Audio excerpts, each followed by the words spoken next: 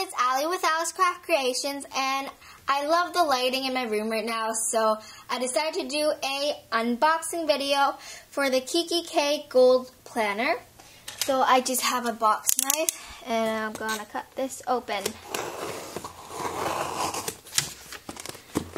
Um, this took about like 20 days to arrive but I live in Canada so yeah. I think US it's like less of a weight. Um, so just gonna open this, and it has this bubble wrap. Ooh, and then it's this thing. Oh my gosh. Okay. Um, and then it has this pamphlet on how to customize your own Kikki K planner, and I watched all the videos, so yeah, I'm pretty good at that. And then it has this thing, like a thank you note. And then it has some tissue paper. But like on the videos I saw, they had really cute paper. But this one's like normal. I'm kind of sad. But it's okay. So now let's look at this planner. Okay. So let's see if it's in good condition. Hopefully it is. I'm kind of nervous. Okay. I'm so excited. Okay, so this is the planner, and you open it, and let's see. I think it's good, the rings.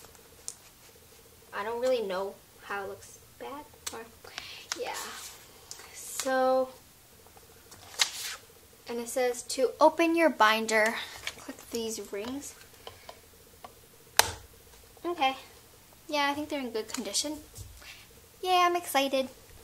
Um, and this is like, um, yeah, I'm gonna rip this off. I've seen like so many videos of this, so yeah. And I think this is 2015, 2015. It's like December 14th.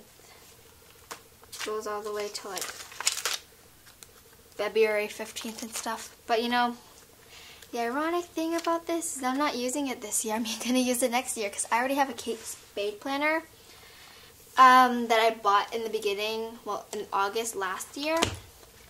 Uh, so yeah.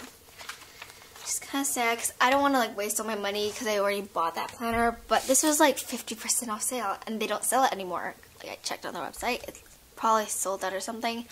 So yeah. Um, gonna rip this off. So, really excited, but I am gonna use the expenses page because I really need that. My dad keeps telling me to like write all my things down. And then I also have um, to do, and this one's kind of like, oh, read. And then shops and restaurants, I'm gonna be filling those out. Birthdays and anniversaries maybe. Then addresses. And then your calendar.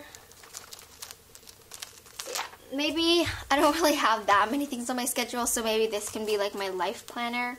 Because I already have a school planner. And this is like just a bunch of um, things, and it has this cute ruler. I think that's about it. It has this pocket, and it has a really cute pattern on the back.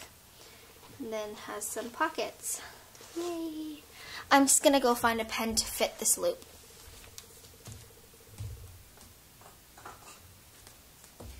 So I'm going to be using this blue pen.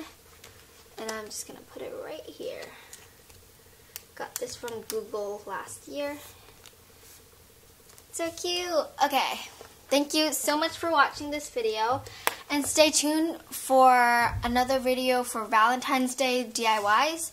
And thanks so much for watching and see you next time. Bye!